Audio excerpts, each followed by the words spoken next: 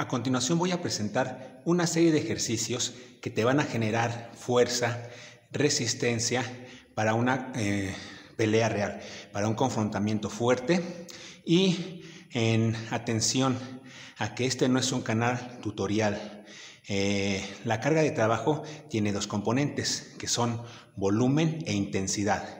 El volumen y la intensidad tienen que ser graduados de acuerdo a cada persona, edad, peso, sexo, etc. Y eso solamente lo puede hacer un instructor certificado en manera presencial.